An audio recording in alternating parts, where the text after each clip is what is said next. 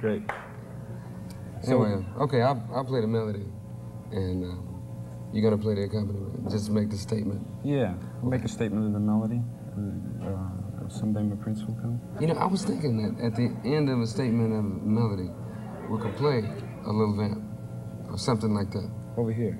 Yeah, I mean, even even when we get to the keyboards, we could do that. What do you think about that? On, with, with like this tonality? Yeah. Yeah. yeah okay. Yeah. That'll be a tribute to somebody that's been a major influence to, on both of us. Miles, Miles Davis, because that was what he used.